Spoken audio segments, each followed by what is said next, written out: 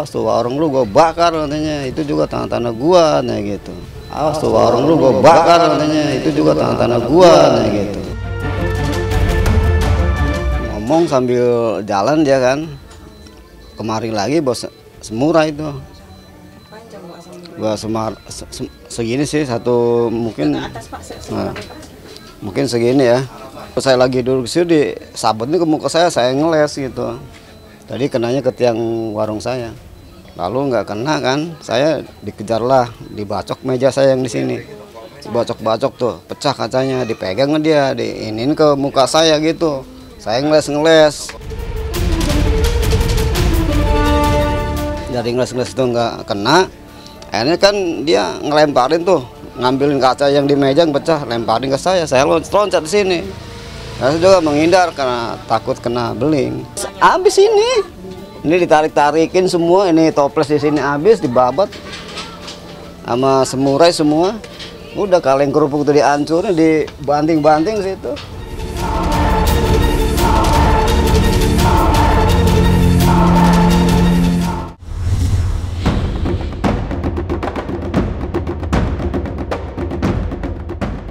Dari yang pertama itu waktu dia lempar-lempar beling, saya nanganin, nyadarin gitu maksudnya. Dia kan maunya dipanggilnya Habib. Bib, udah Bib. Jangan Bib, udah Bib. Dia kenal saya kan. Nah, dia baru dah tuh nggak nggak. Tuh sempat Pak Junedi ini lari masuk ke dalam. Nggak saya berdua.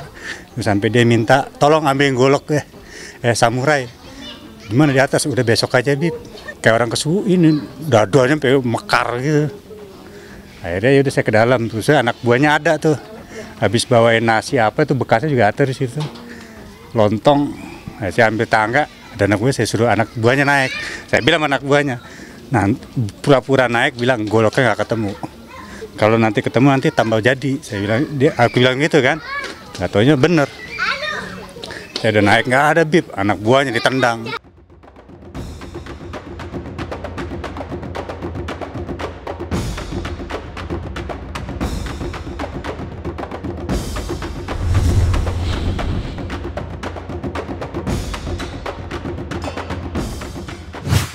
Mas Malam ada apa nih tumben nih rame bener.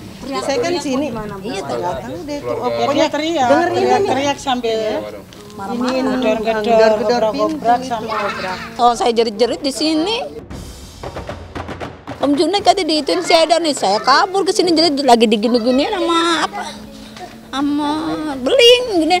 Eh Wan jangan Wan, Wan jangan Wan, Wan jangan. Dia terus aja. Pas dia lempar ke sono, dia lagi meleng mau ngambil lagi lah. Suami saya lari, saya lari aja, tinggalin dia sendiri. Ya kalau begitu mah ngeresakan jadinya semuanya.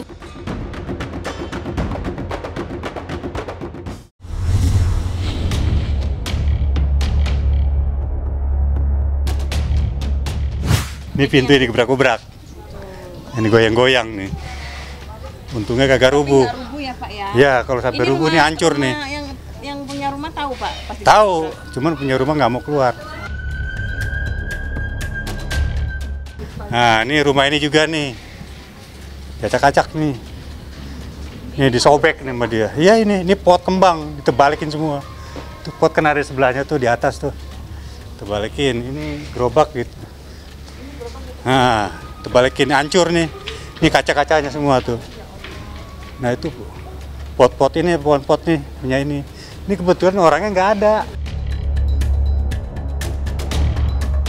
Dari sini langsung gini Om Junaid.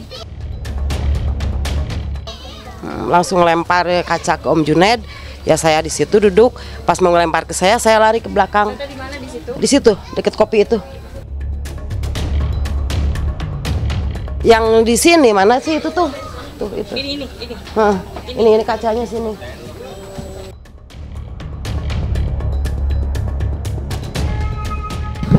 yang ini meja sini. Nih, ini mejanya ini. Mm-mm. Apa teh maksud kacanya dibrak Dibrak gini langsung diginiin sama samurai. Tebel banget. Ya kalau kena ya parah lah.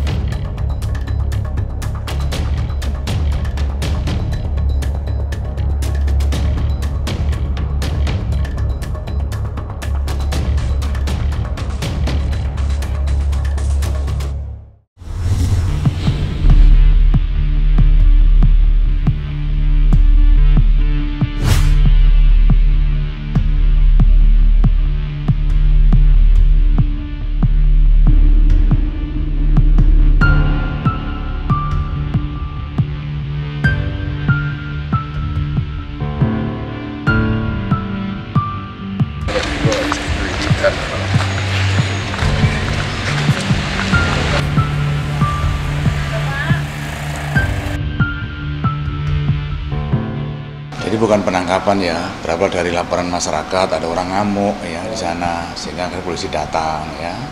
Setelah datang sana diamankan, ternyata masyarakat sekitar sudah tahu. Itu kalau yang bersangkutan Pak Haidar itu memang sudah lima tahun ya, di lima tahun sudah dirawat di rumah sakit jiwa ya, sudah lima tahun. Dan kemudian juga kita arahkan untuk kita bawa ke rumah sakit di uh, Durian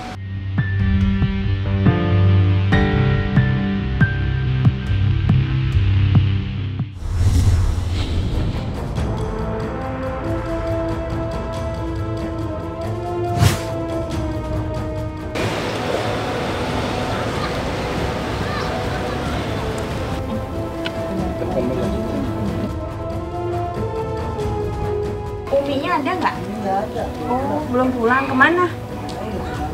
Oh, tapi nanti malam pulang.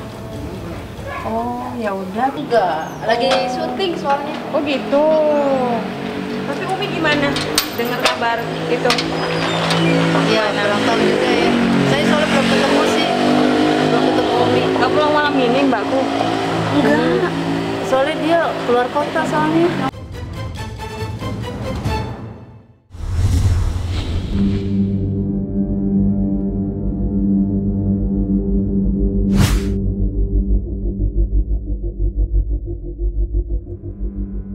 Nggak lama kemarin tuh ngutang.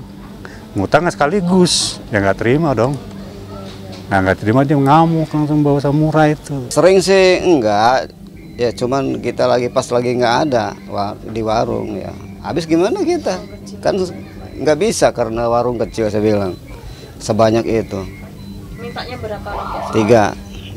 tiga bungkus rokok.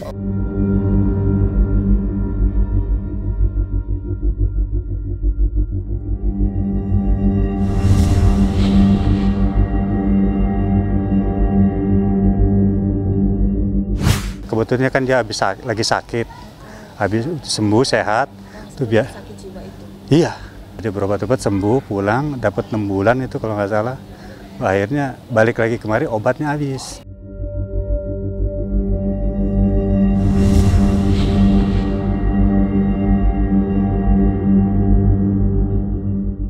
Saya sih nggak mengatakan kerugiannya berapa apa. Yang penting saya itu aja lah diselesaikan dengan kekeluargaan aja. Ya kita juga kenal Umi kok. Ada, Wan Sehan, mm-mm, sama sekretarisnya ada semuanya tuh. Minta maafnya apa? Maafin kejadian ini gitu aja dia bilang. Kata dia orang lagi sakit katanya dia gitu doang. Ya kita nggak tahu dia sakit kan.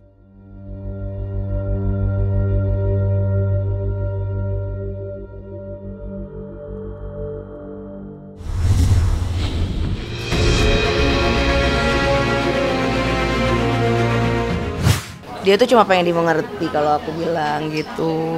Eh, dari terlepas dari kejadian terlepas dari masalah yang ada ya sebelum sebelumnya pun gitu karena memang kan sering curhat gitu. Maksudnya sering cerita dia gitu apa yang dia rasain segala macam. Dan saya memang tahu lah satu pukulan hebat juga buat dia meninggal anaknya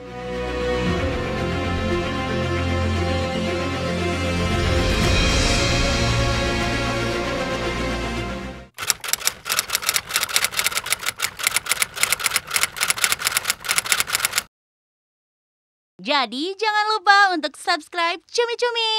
Ditekan ya tombol lonceng merahnya.